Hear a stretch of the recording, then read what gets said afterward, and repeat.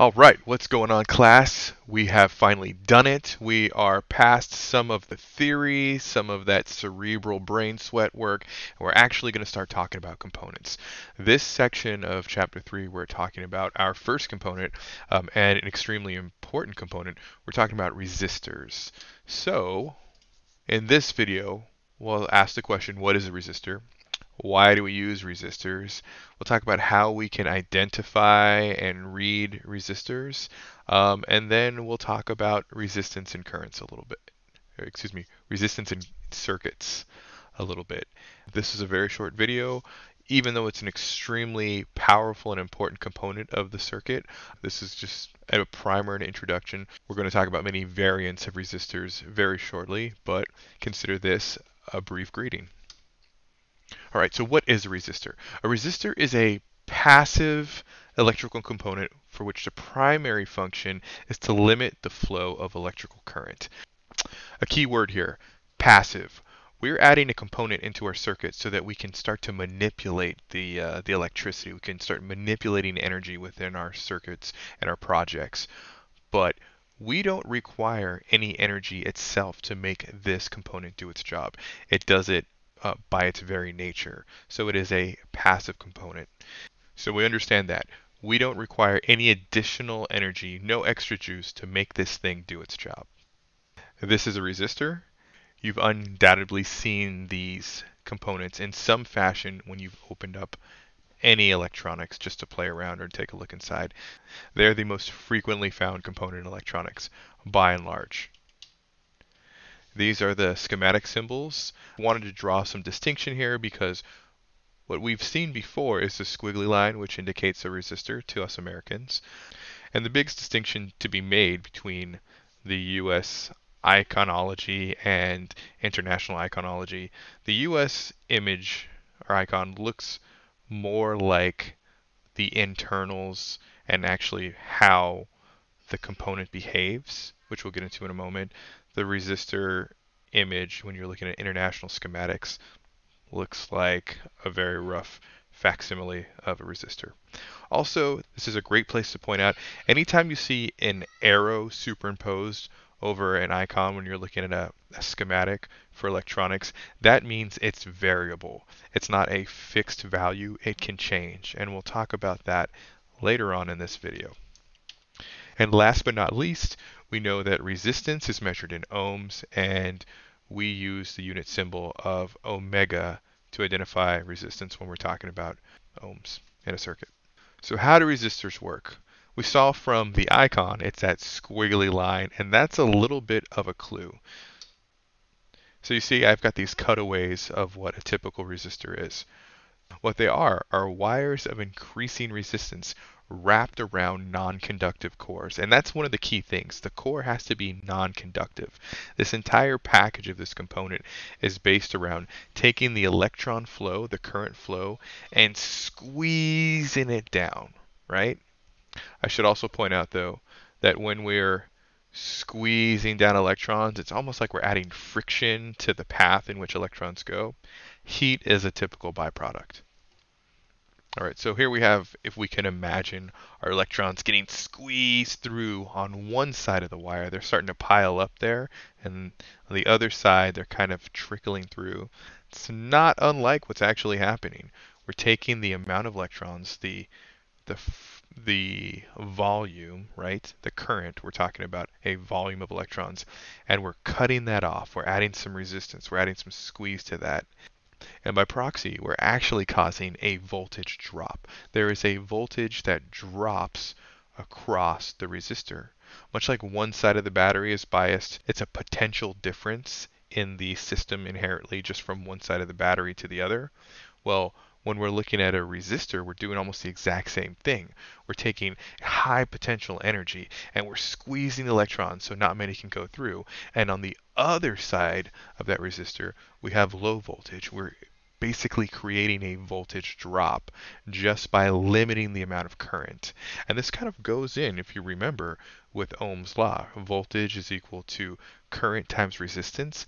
I want to point out voltage is not a product of current and resistance, but a proportional relationship. So if we lessen one or increase one, we're going to manipulate the other. And that's exactly why we use resistors. Resistors are the mainstay, the, the, the greatest way that we have to manipulate the flow of electricity in circuits. If we can put a pretty broad stroke to this, when you're using a power source, you say, this is my power source that I'm working with. It's typically not variable. It's 12 volts, 9 volts, 60 volts, whatever it is. And we have this voltage and then whatever inherent resistances are in our circuit based on the components, but we need to be able to have more nuanced control. We need to be masters of our project, and that's why we add resistors. We add these resistors so that we have control over the amount, the volume of electricity that's flowing through our circuit at any given part or in the system as a whole. And if you can understand that part, you'll understand why resistors are so common in our electronics projects and why they're extremely key and fundamentally important to know about. All right, so we got a couple types of resistors. I could probably squeeze in some more pseudo meta types like digital resistors, but I'm gonna give you three main ones that I think are important. And I'll explain a little bit about them and then we're gonna get into the construction of these guys. So number one, the fixed resistor. It is the most common resistor to be found on our circuitry projects. The, we call it the fixed resistor because the resistance does not change, it's invariable, and, and that squeeze that we put on our electrons remains constant. Then, of course, contrary to that, there was a need to be able to actually manipulate these things on the fly, and we found variable resistors hit the spot. These are resistors that can be changed either through manual means, mechanical means, or digital logical means. Anytime you've ever touched a knob or turned a knob, you've essentially been using a variable resistor. And the way they work is they have a sliding contact called a wiper, and this controls the resistance contact area. So that's how we can manipulate the flow of electrons, either increase or decrease them for our purposes. And then lastly, these guys are super cool, and we're going to spend a lot of time with them. I wish we were in person so we can have some really fun projects with them, but they are reactive resistors. And these are resistors that are variable resistors, but they're the resistance is altered based on environmental variables. Put variables twice in the same sentence with two different meanings. Let's try that again. The environment dictates the amount of resistance that this device imposes on the system.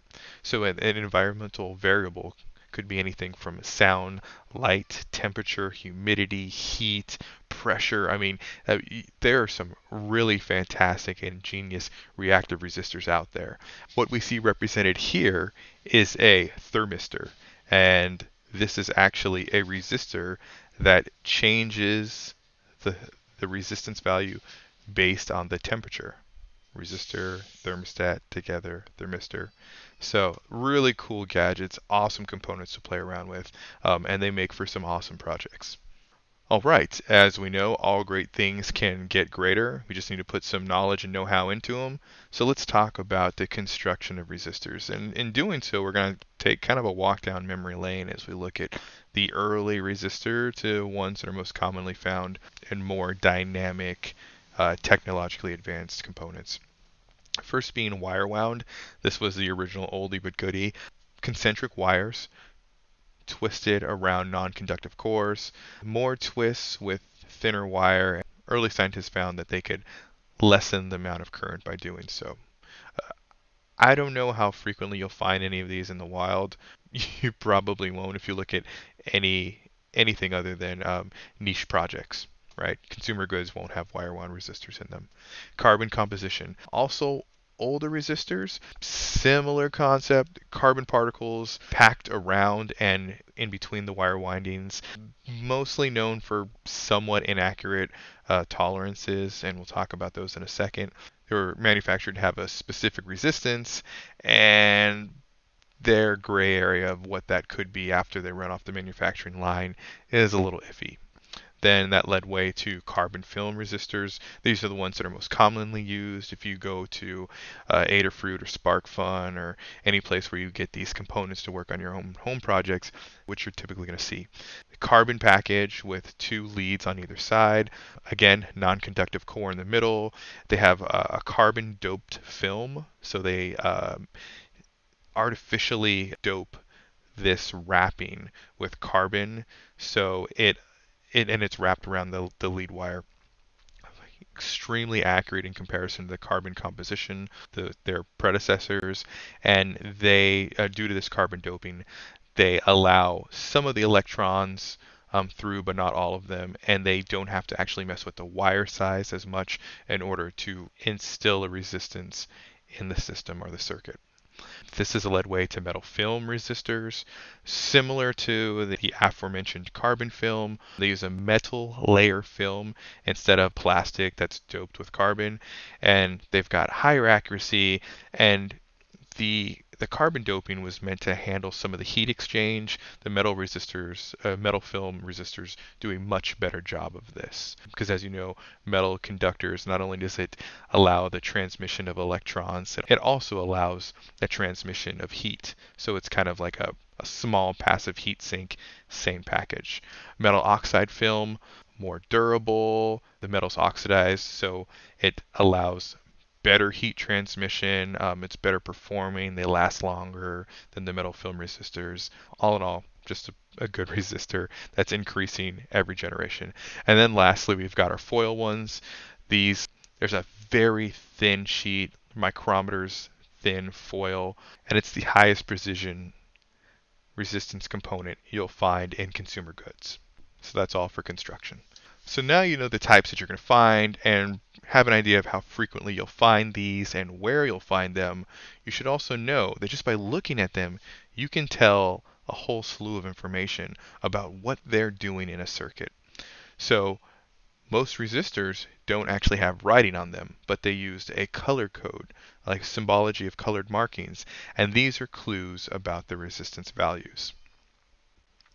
If you know how to read these, you can take a look at any resistor and identify exactly what it's doing in your circuit or your system. So the first band going from left to right is the first significant digit.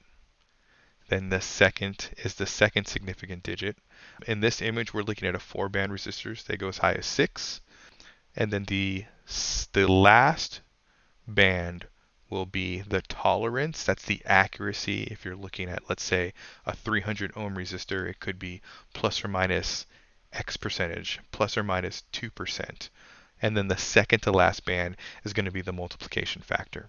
And by knowing this and having a little Q, you can take a look at a resistor and see exactly how many ohms of resistance that this component is providing. So here's that Q that I was talking about a color chart. They use the different colors of the rainbow to indicate different values and the capability of the resistor. This one that we're looking at here is a six band resistor. For the purposes of our course, we'll probably be keeping most of our attention on a five band resistor. I wouldn't expect to see the six band resistor too much in this course. It's an introductory course and temperature coefficient is that's something that's that's more in like the material studies or some of the electrical engineering processes that we're not going to be getting to. All right. So now that you know everything that you need to know about a resistor, Let's figure it out. Let's test ourselves here. Here we've got a four band resistor. We have our chart. We know, or we have the means to know everything that we need to about this resistor. So let's go through it together, right? Looking from left to right, I see orange, white, orange, and gold. So let's take a gander at this. Orange in the first digit means 3. All right, self-explanatory white, 9. And then because we only have four bands, those last two, the second to last is going to be the multiplier. That's another orange. That's a multiplier of a 1,000. And then our tolerance is gold. That means plus or minus 5% accuracy of what we see here. So I'll give you guys a moment to look over this chart, take a look at the resistor, and then you tell me which you think it is.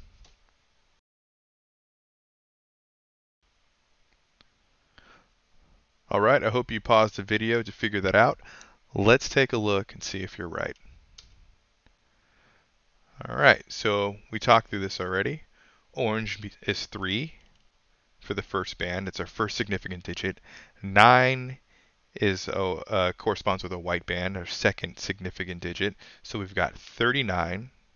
We're going to multiply that by 1,000, and we'll know our accuracy is plus or minus 5%. So what's it come out to? This is a 39K ohms resistor, a 39 kilo ohms resistor with plus or minus 5% accuracy. And that's it. So you guys are rock stars. You have nailed resistors. You now know all you need to know for the purposes of trying to figure out the capability of a resistor that you'll find in any of your projects in this course. I give you four more fun ones to figure out. Pause the video, take a look. If you need to go back and review that, that the reading metrics one more time, feel free to do so.